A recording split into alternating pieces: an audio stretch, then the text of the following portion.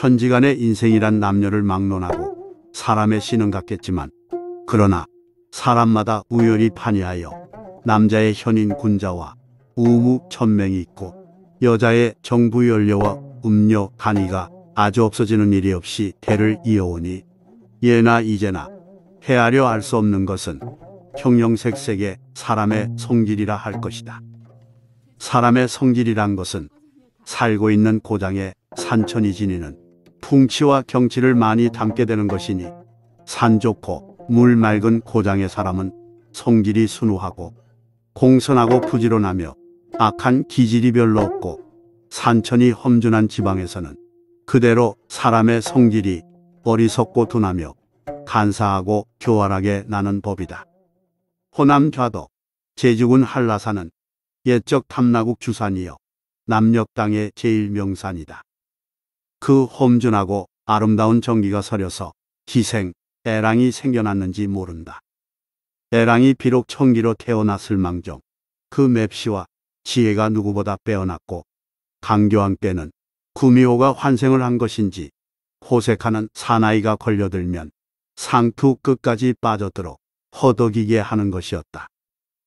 한양에 김경이라는 양반이 있었다.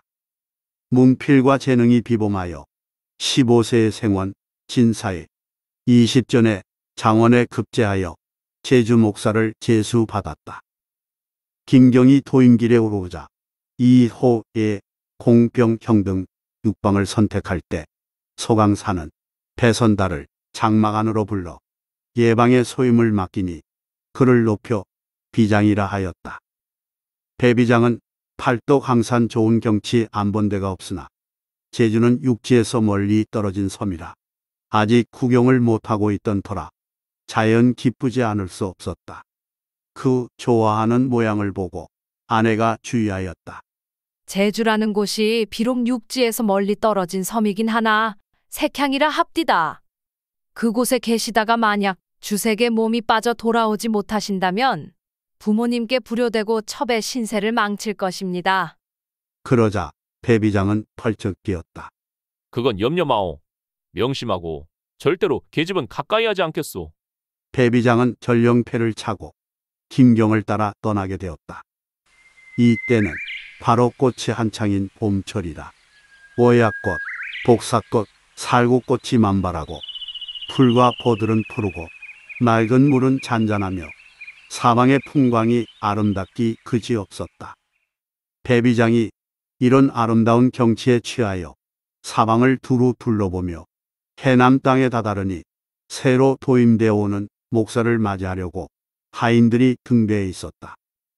사또가 하인들의 인사를 받은 후에 사공을 불러 분부하였다. 예서 배를 타면 제주까지 며칠이나 걸리는고.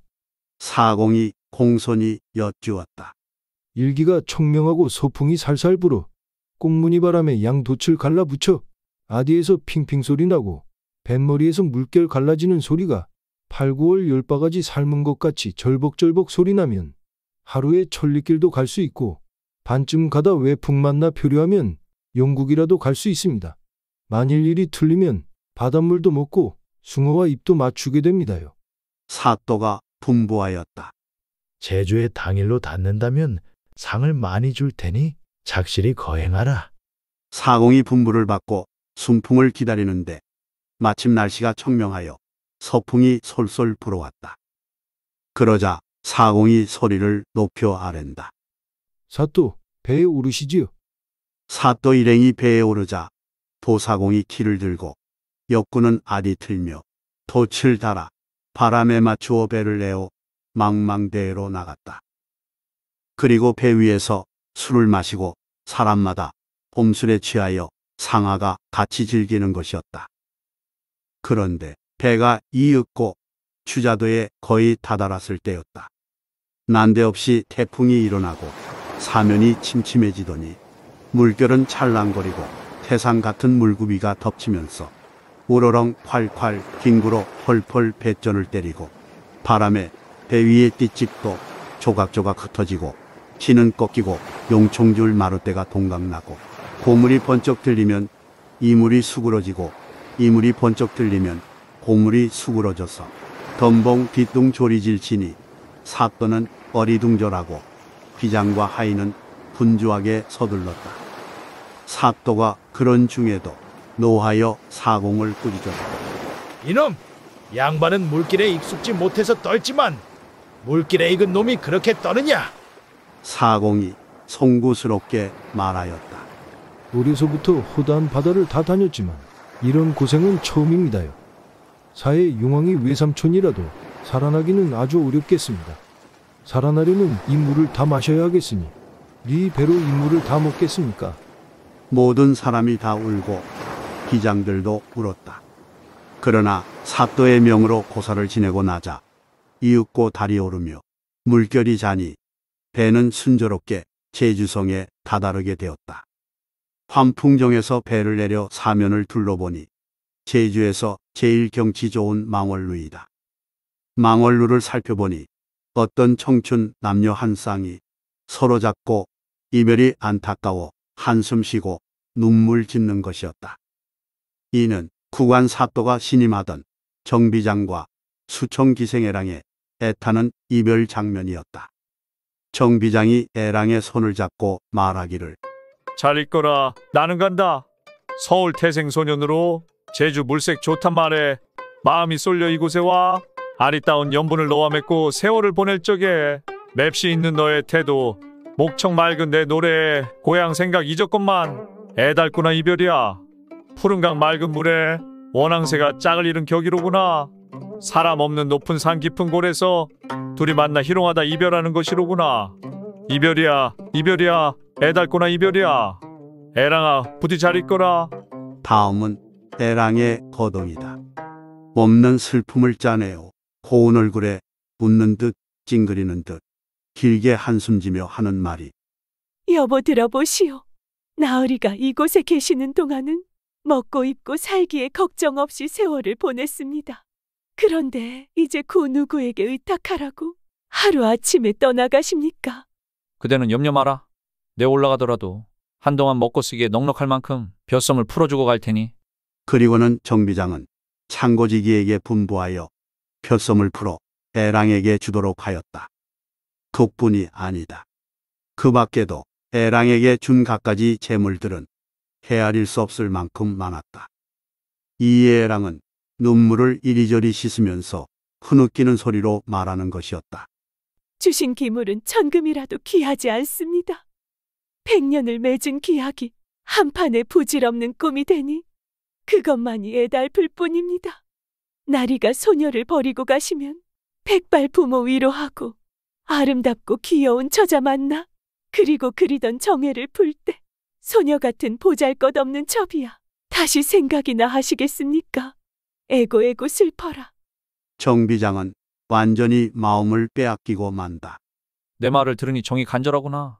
내 몸이 지닌 놀이개를 내 마음대로 다 달라고 해라. 그렇지 않아도 정비장을 물오른 송기 벗기듯 하려는 참인데 가지고 싶은 대로 주마고 하니 애랑이녀는 불안당 같은 마음에 피나무 껍질 벗기듯 아주 홀랑 벗겨버리려고 하였다. 여보 나으리 들으시오. 갓두루마기 소녀에게 벗어 주고 가시면 나으리님 가신 후에 그 갓두루마기 한 자락은 펴서 깔고 또 한 자락은 흠썩 덮고 두 소매는 착착 접어 베개 삼아 베고 자면 나으리 품에 누운 듯그 안이 다정하겠소. 정비장은 양피 갓두루마기를 헐헐 벗어 애랑에게 주었다. 이 옷을 깔고 덮고 베고 잘 때 부디 나를 잊지 마라. 애랑이 또 말하기를 나으리님 들으시오. 나으리 가신 후 겨울이 와서 추운 바람이 불 때 귀시려 어떻게 살겠습니까? 나으리 쓰신 돼지 껍질 휘양을 소녀에게 벗어 주고 가시면 두 귀에 덥석 눌러 쓰고 땀을 흘릴 테니 그 안이 다정하겠소. 말이 떨어지기가 무섭게 정비장은 휘양을 벗어 애랑에게 주었다.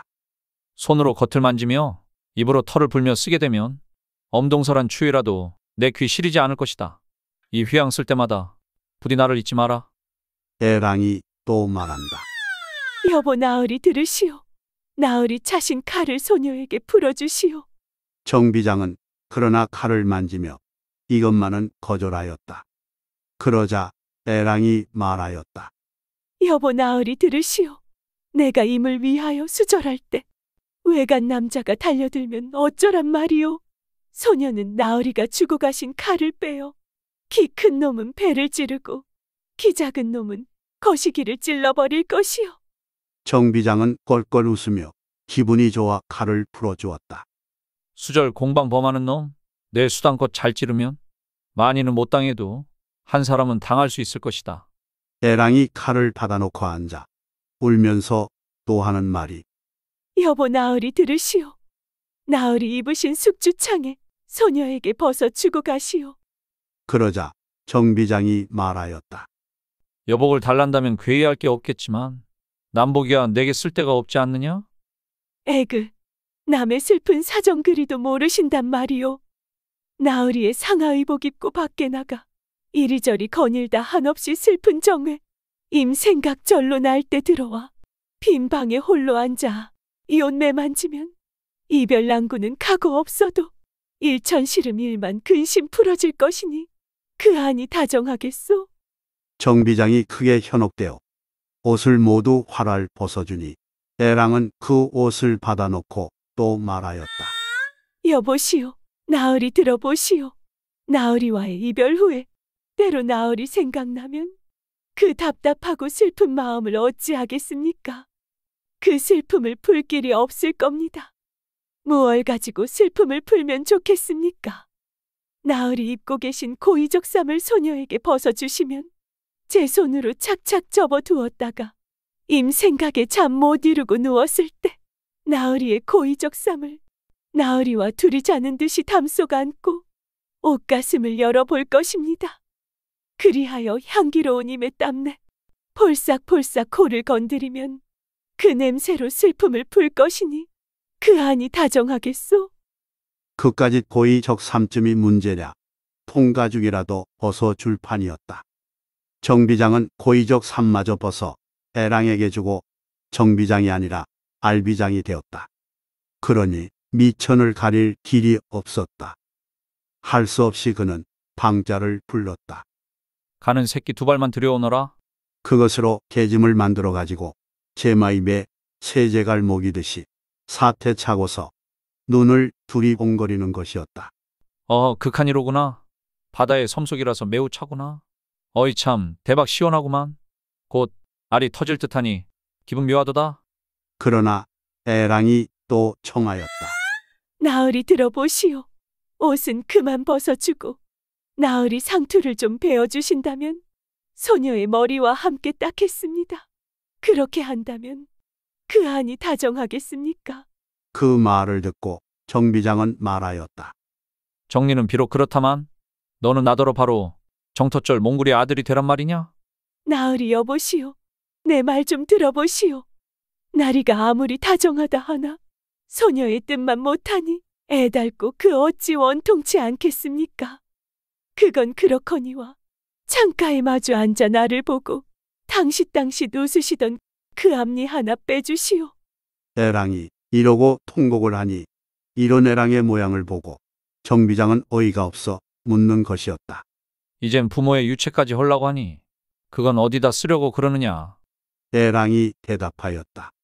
앞니 하나 빼어주시면 손수건에 싸고 싸서 배곡함에 넣어두고 눈에 아마만 임의 얼굴 보고 싶고 귀에 쟁쟁한 임의 목소리 듣고 싶은 생각이 날 때면 종종 꺼내어 보고 슬픔을 풀고 소녀 죽은 후에라도 관구석에 지니고 가면 한 몸 합장이 되지 않겠습니까?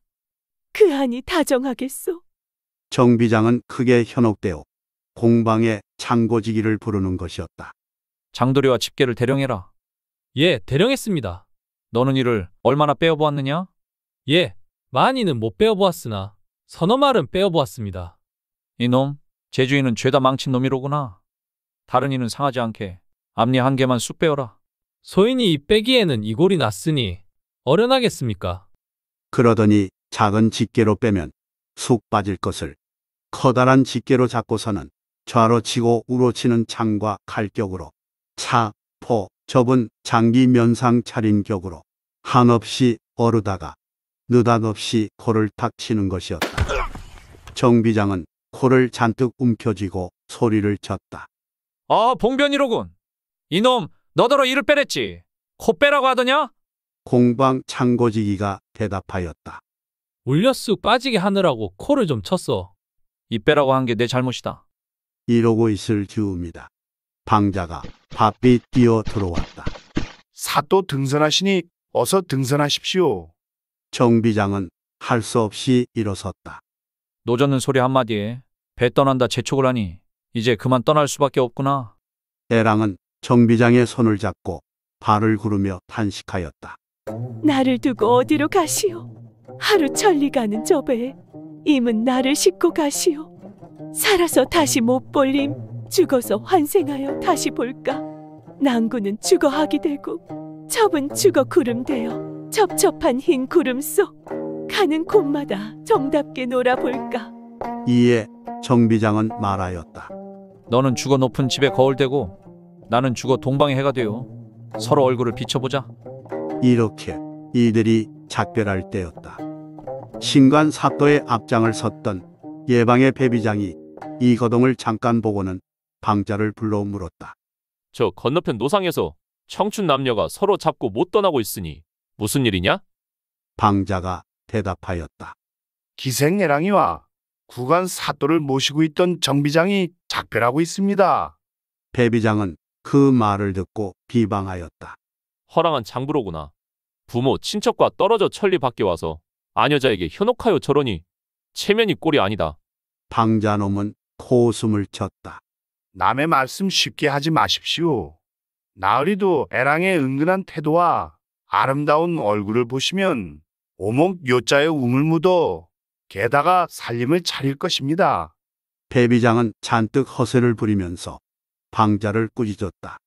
이놈, 양반의 정치를 어찌 알고 경솔히 말을 하느냐? 그러나 방자는 물러서지 않았다. 그러면 황송하오나 소인과 내기를 합시다. 무슨 내기를 하자느냐? 나으리께서 올라가시기 전에 저 기생에게 눈을 팔지 않으시면 소인의 많은 식구가 댁에 가서 드난 밥을 먹고 만일 저 기생에게 반하시면 타시고 다니는 말을 소인에게 주시기 바랍니다. 이에 배비장은 대답하였다. 그래라. 말값이 천금이 된다 할지라도 내기하고서 너를 속이겠느냐? 두 사람이 한참 이렇게 수작하고 있을 때 신관 사또와 구관 사또는 인수인계를 마치고 새 사또가 도임하였다. 그리고 사또의 도임 절차가 끝나고 모두가 정해진 처소로 돌아갔을 때는 이미 지고 동쪽에 달이 뜨면서 맑은 바람이 부니 태평한 기상이 완연하였다. 모든 비장이 기생들을 골라잡고 들어가니 방마다 노래소리와 비파소리가 화합하여 월야에 퍼지는 소리는 듣기 좋고 처량한 느낌을 자아내 주는 것이었다. 이때 배비장은 심사가 울적하여 남들처럼 놀고 싶었다. 그러나 이미 정한 내기가 있다. 장부의 한 마디 말은 천금의 무게가 있다 하였으니 어찌 마음을 바꾸어 먹을 수 있겠는가. 그러니 할 일 없이 혼자 앉아 있을 수밖에 없었다. 이때 여러 비장 동료들이 배비장에게 권하여 정갈하였다. 방자야, 내 예방 나으리께 가서 미인의 고장인 이곳에 오셔서 수심에 쌓이시니 웬일입니까? 고향 생각 너무 마시고 미색을 골라 수청들게 하시고 정담을 나눔이 장부의 소일인 줄 압니다.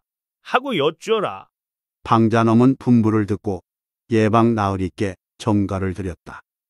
배비장은 방자에게 되돌려 정가를 보냈다.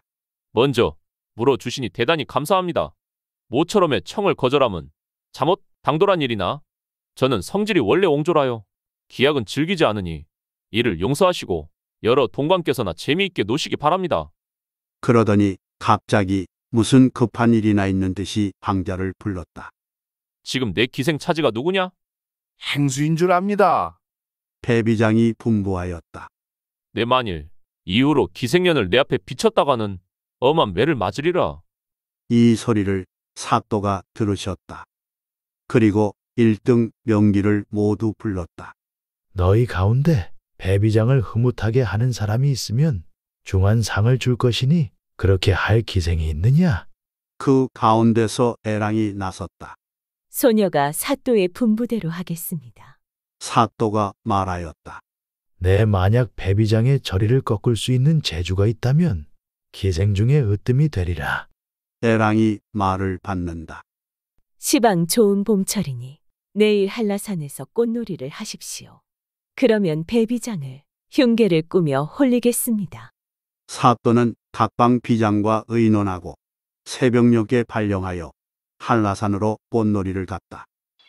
산속으로 들어가니 온갖 꽃들이 다트듯 피어 있고 온갖 새들이 지저귀어 마치 아름다운 풍악을 갖춘 것 같았다.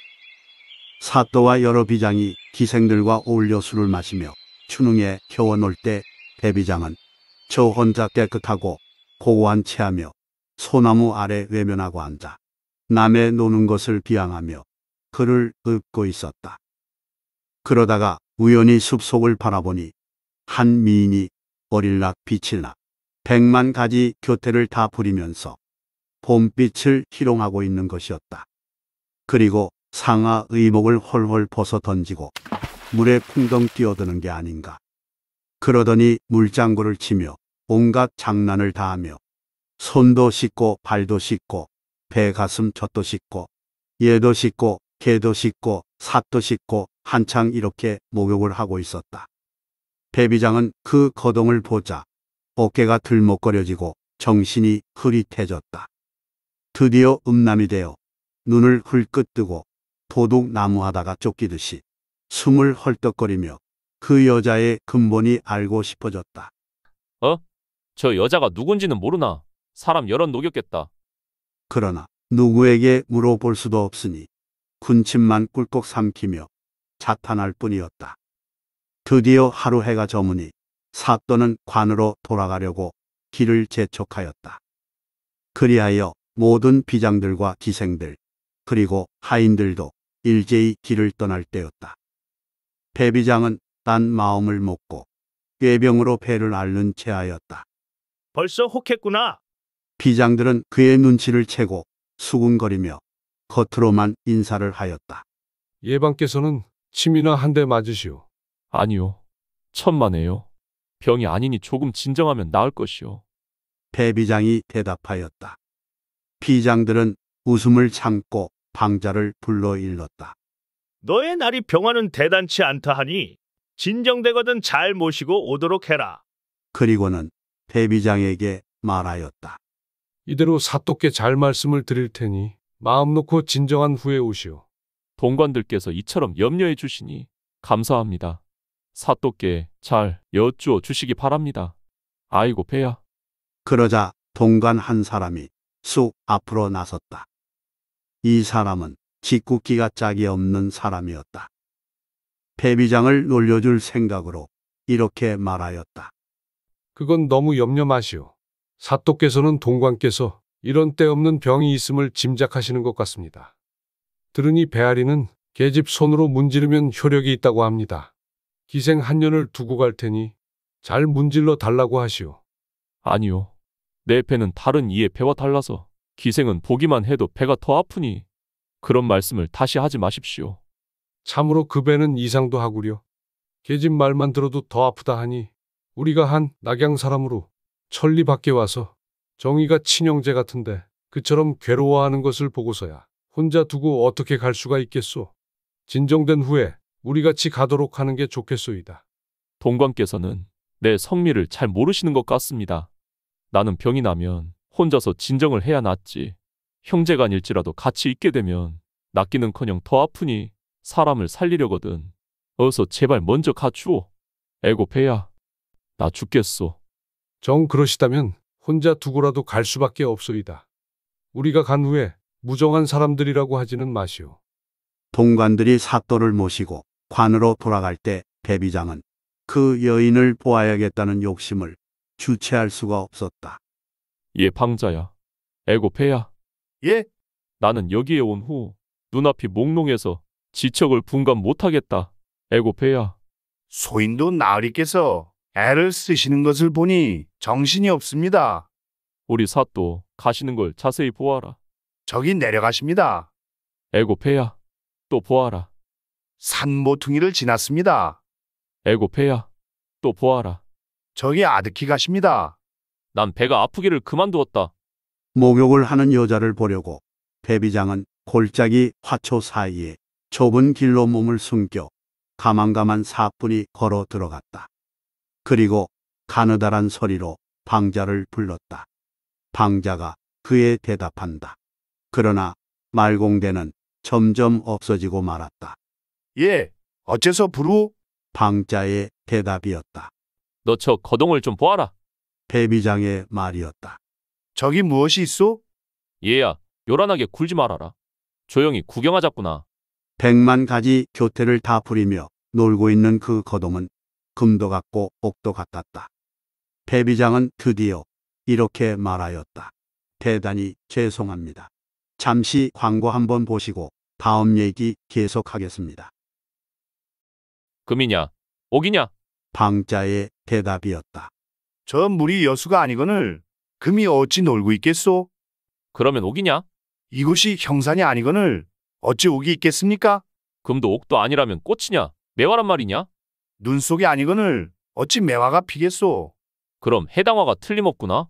명사심리가 아니거늘 어찌 해당화가 되겠소? 그러면 국화란 말이냐? 국화도 아닙니다. 꽃이 아니면 귀비란 말이냐? 온천물이 아니거늘 어찌 귀비가 목욕을 하겠습니까? 귀비가 아니면 불려오냐? 에고 에고. 나를 죽인다. 나를 죽여. 나으리, 뭘 보고 그렇게 미쳤습니까? 소인의 눈엔 아무것도 안 보입니다. 이놈아.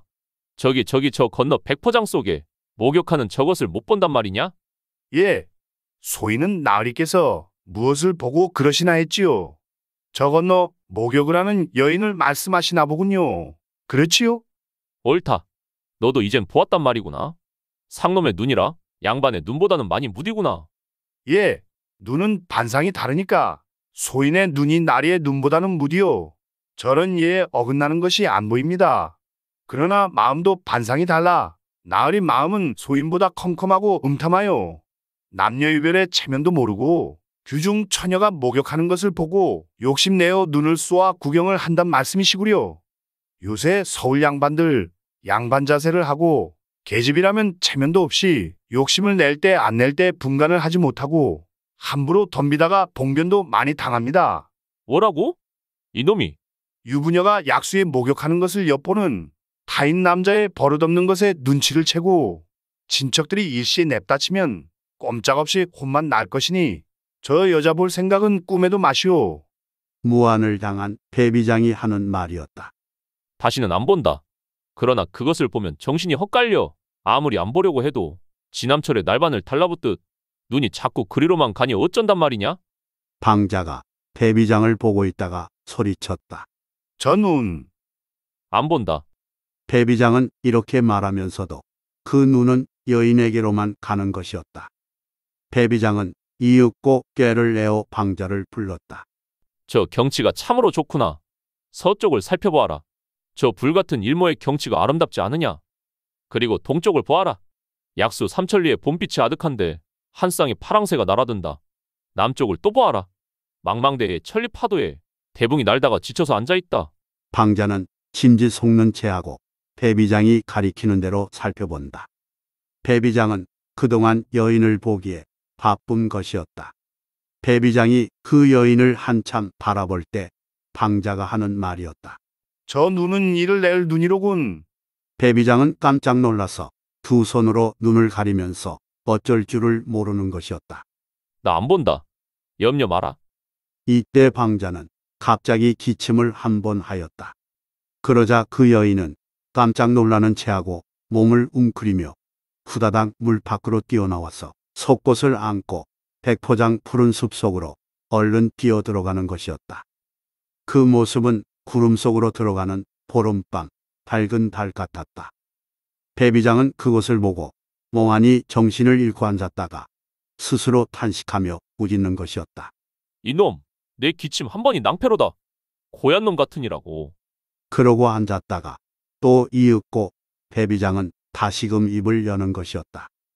예, 방자야. 예, 내 저 백포장 밖에 가서 문안을 한 번 드리고 그 여인께 전가를 해라. 방자는 말없이 배비장을 바라보았다. 문안을 들이대 이 산에 온 나그네가 꽃 보고 놀다가 여행의 피로로 몸이 노곤하고 기갈이 몹시 심하니 혹시나 음식이 있거든 기한을 면하게 해주시면 천만 감사하겠습니다. 하고 여쭈어라. 방자놈이 대답하는 것이었다. 나는 죽으면 죽었지 그런 정갈은 하지 못하겠습니다. 부지초면에 어떻게 남의 여자에게 음식을 달라고 하겠습니까?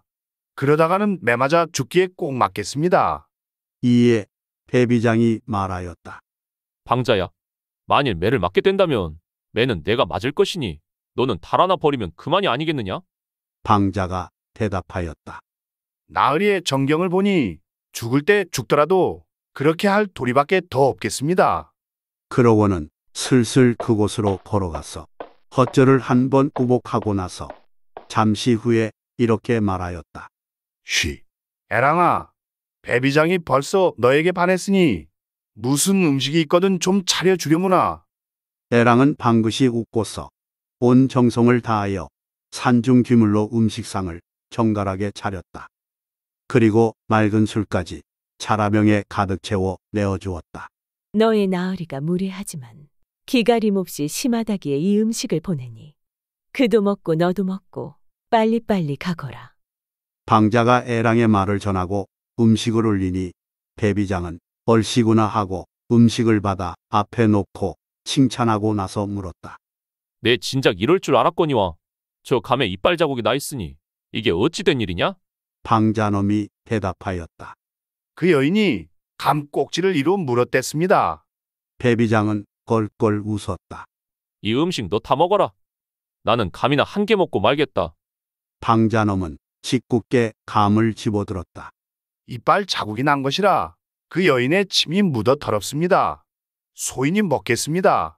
이놈, 어이없는 소리 하지 말고 어서 이리 내놓아라.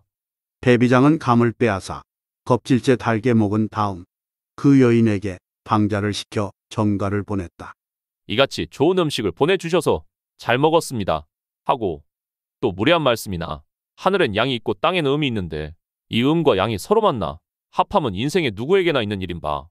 방탕한 화류객이 호련히 산에 올라왔다가 꽃을 찾는 벌나비의 마음을 주체할 수 없어 하니 이 마음을 헤아려 주소서 하고 여쭈어라. 방자는 배비장의 분부대로 그 여인에게로 가서 정가를 하였다.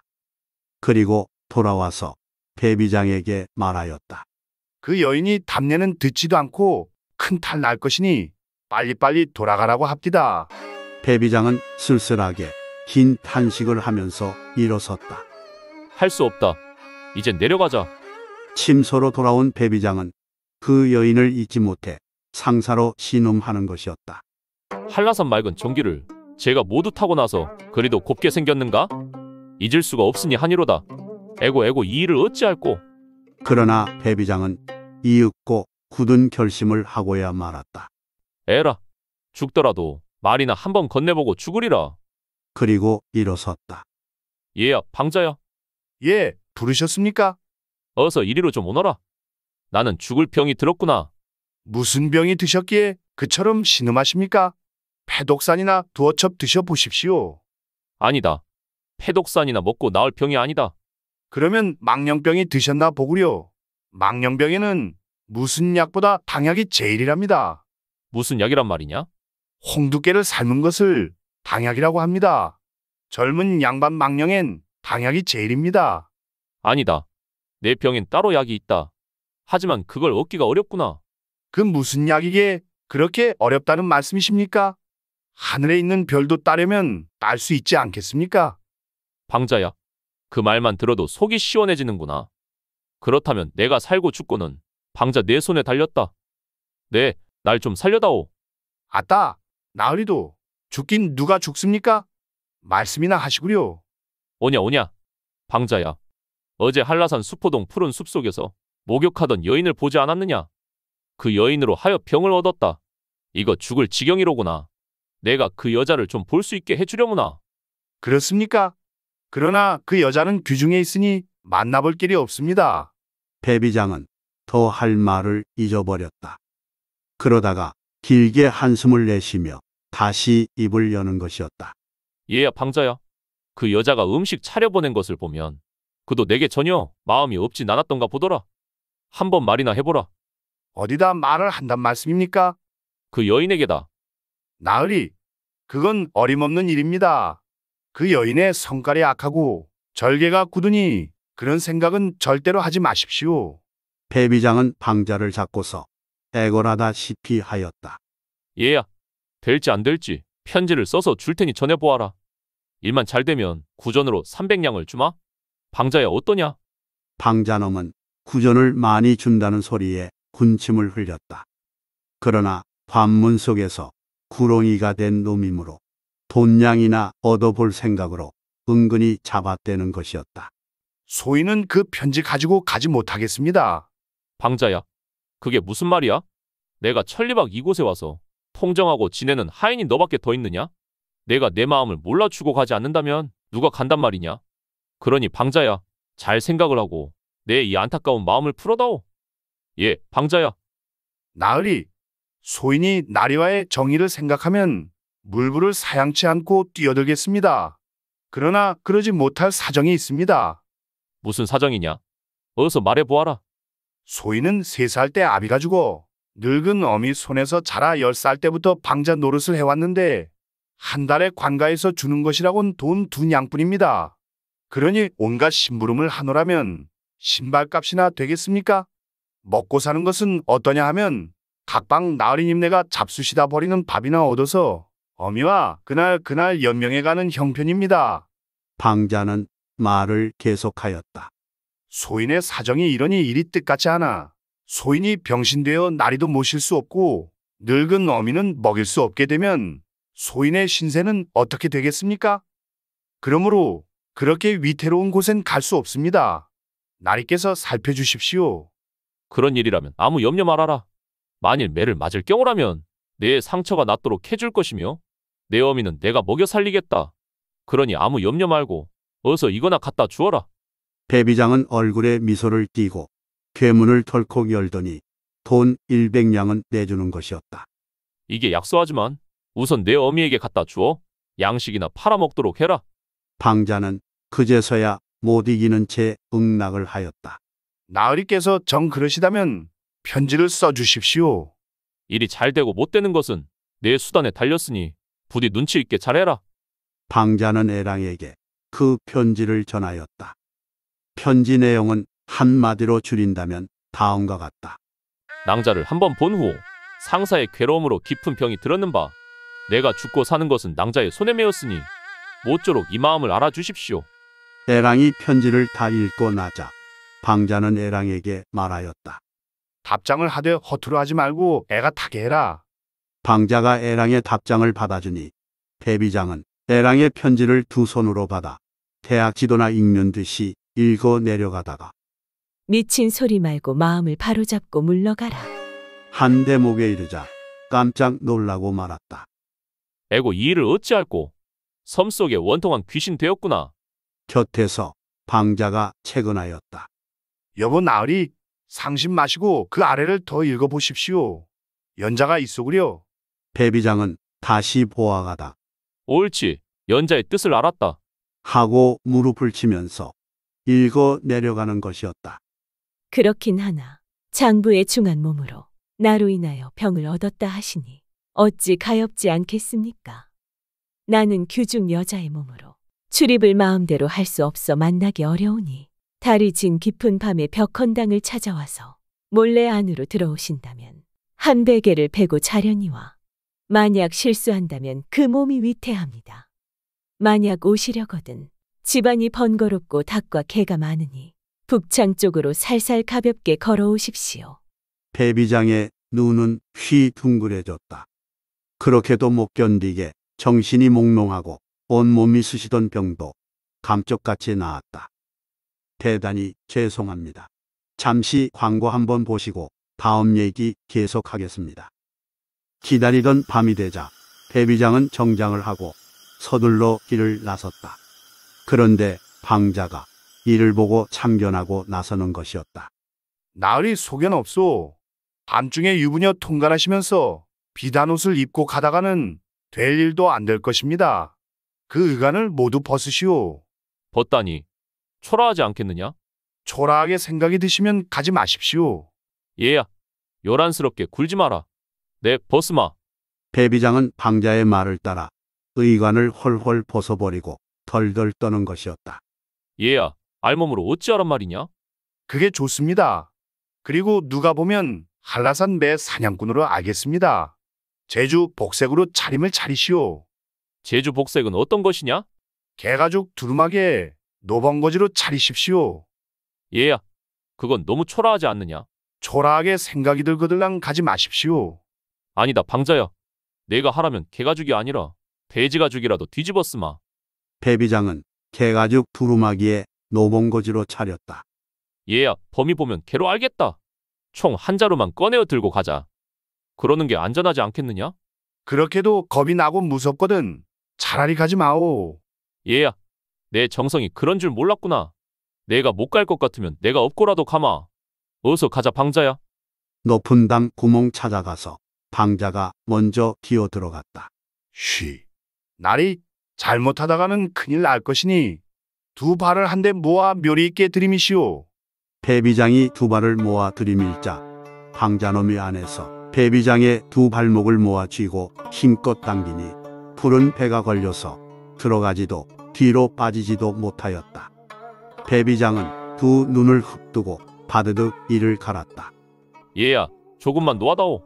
방자가 갑자기 다리를 탁 놓자 배비장은 곤두박질하고는 다시 일어나 앉으면서 말하는 것이었다. 매사가 순리로 되지 않으니 낭패로구나. 산모의 해산법을 말하더라고. 아이를 머리부터 낳아야 순산이라 한다. 그러니 상투를 먼저 들이미르마. 너는 이 상투를 잘 잡고 안으로 끌어들여라. 방자놈은 배비장의 상투를 노봉거지째 와락 잡아당겼다. 한동안의 신랑이 끝에 드디어 퐁 하고 들어가자 불을 켠 방으로 들어가서 욕심대로 얼른 놀다가 날이 새기 전에 나오십시오. 하고 방자는 몸을 숨기고는 배비장의 거동을 엿보는 것이었다. 가만가만 자취 없이 들어가서 문 앞에 서서 손가락에 침을 발라 문구멍을 뚫고 한눈으로 안을 들여다본 배비장은 정신이 아찔하였다. 등불 밑에 앉은 여인의 태도, 천상의 선녀를 보는 듯하였기 때문이다. 그런데 그 선녀가 피우는 담배 연기가 문구멍으로 풍겨왔다. 배비장은 담뱃내를 맞고 저도 모르게 재채기를 하였다. 그러자 여인은 놀랐는지 문을 활짝 열어젖히면서 소리쳤다. 도둑이야. 배비장은 겁에 질려 몸을 부들부들 떨면서 겨우 말하였다. 문안들이오. 범을 그리려다 강아지를 그린 그림이로군. 아마도 네 집 미친 개가 길을 잘못 들어왔나 보다. 여인은 배비장의 꼴을 보다가 이렇게 말하고는 나무 조각으로 배비장을 한 번 쳤다. 그러자 배비장이 말하였다. 나 개 아니오. 그러면 뭐냐? 배가요. 계집은 배비장의 꼴을 보고 웃고 내려와 손목을 잡고 방으로 들어갔어. 이 밤에 웬일이오? 들어가 정담을 나눈 뒤에 불을 막 끄고 나니 방자놈이 고함을 친다. 불 켜놓고 문 열어라. 여인이 깜짝 놀라는 체하고 몸을 떨며 당황해할 때 방자놈의 지어낸 언성이 다시 떨어졌다. 요기롭고 고얀년 내 몸 하나 옴짝하면 문 앞에 신내 짝이 떠날 날이 없으니 어느 놈과 미쳐서 또 두렁거리고 있느냐? 이언놈을 한 주먹에 뼈를 부수어 박살내리라. 배비장은 혼비백산하여 허둥거렸으나 외문집이 되어 도망할 수도 없었다. 할 수 없이 알몸으로 이불을 쓰고 여자에게 물었다. 그게 본 남편이요? 성품이 어떻소? 성품이 매우 표독합니다. 미련하기로는 도척이요. 기우는 항우요. 술을 좋아하고 화가 나면 백주에도 칼을 뽑아 피보기를 예사로 합니다. 계집의 말을 들은 배비장은 애걸복골하면서 여인에게 매달렸다. 낭자, 나를 제발 살려주게. 계집은 언제 장만에 두었던지 커다란 자루를 꺼내 가지고 와서는 아구리를 벌리면서 말하였다. 이리 들어가시오. 배비장은 이상하게 여기고 겁에 질려서 덜덜 떨리는 음성으로 물었다. 거기엔 왜 들어가라는 거야? 들어가면 살도리가 있으니 어서 들어가시오. 계집은 배비장을 자루에 담은 후에 자루끈을 모아 상투에 감아매고 등잔 뒤 방구석에 세워놓고 불을 켰다. 이때 방자놈이 문을 왈칵 열고 성큼 들어서며 사면을 둘러보았다. 저 방구석에 세워놓은 것은 무엇이냐? 그건 알아서 못하시겠어요. 계집의 대답이 간드러지다. 이년아, 내가 묻는데 대답을 할 것이지. 무슨 반문이냐? 이년 주리방망이 맛을 보고 싶으냐? 맛을 보고 싶다면 보여주마. 계집의 음성이 더욱 간사해진다. 검은고에 세 줄을 달아 세워놓은 것입니다. 그러자 방자놈은 수그러지는 체하고 수그러진 음성으로 응? 검은고라면 좀 타보자. 하고는 대꼬챙이로 배부른 등을 탁탁 쳤다. 그러니 배비장은 참을 길이 없었다. 그러나 꿈틀거릴 수는 없는 일이다. 배비장은 아픔을 꾹 참고 대꼬챙이로 때릴 때마다 자루 속에서 둥덩둥덩. 하고 소리를 냈다. 음, 그놈의 검은고 소리가 매우 웅장하구나. 대연을 쳤으니 이제 소연을 쳐봐야겠군. 이번은 코를 탁 쳤다. 둥덩둥덩. 응? 그놈의 검은고가 이상하다. 아래를 쳐도 위에서 소리가 나고 위를 쳐도 위에서 소리가 나니 말이다. 이 어떻게 된 놈의 검은고냐? 계집의 대답이었다. 이건 특수한 검은고라서 그렇답니다. 그러냐? 술 한잔 날 권하고 줄을 골라라. 오늘 밤 놀아보자. 내 소피 보고 들어오마. 방자는 문 밖으로 나와서 가만히 귀를 기울이고 엿들었다. 자루 속에서 배비장의 말소리가 들려왔다. 여보, 그 차가 검은 고를 내볼 것 같으니 다른 데로 나를 옮겨주오. 이곳으로 어서 들어가시오. 계집은 윗목에 놓인 피나무 괴를 열고 말하였다. 괴 속으로 들어간 배비장은 몸을 옹성그리고 앉아서 생각하니 한심스러웠다. 그러나 그것이 모두 자기가 믿고 데리고 있는 방자의 계교라는 것을 어찌 알 것인가. 계집이 괴문을 닫고 쇠를 덜커덕 채우니 이제는 함정에 든 봄이요 도관에 든 쥐였다. 배비장은 숨이 가빠져 왔다. 이때 나갔던 사내가 다시 들어오면서 말하는 소리가 들려왔다. 아까 눈이 저절로 감겨 잠깐 꿈을 꾸니 백발 노인이 나를 불러 내 집에 검은 고와 피나무개가 있느냐고 묻기에 그렇다고 대답했다. 그랬더니 액신이 붙어서 장난을 하므로 폐가 망신할 징조라 했다. 저 괴를 불태워버려라. 어서 집 한 단을 가지고 가서 불을 놓아라. 배비장은 탄식하였다. 이젠 화장인가? 이 일을 어찌한단 말이냐? 뛰쳐나가지도 못하고 이때 계집이 악을 썼다. 조상적부터 전해 내려온 기물로 업귀신이 들어있는 업궤인데 그것을 불사르라니 안 될 말이오. 이년아, 나는 너하고 못 살겠다. 나는 업계를 가지고 나가겠다. 사내가 괴를 덜컥 어깨에 걸머지고 밖으로 나가려 하자 계집이 붙들고 늘어졌다. 임자가 업궤를 가져가고 나는 망하란 말이오. 이 괴는 못 놓겠소. 그렇다면 한 토막씩 나누어 갖자.